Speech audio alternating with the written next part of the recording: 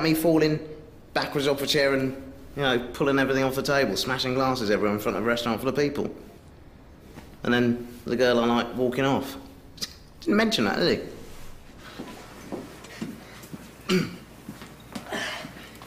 Oh, I'm going to bed.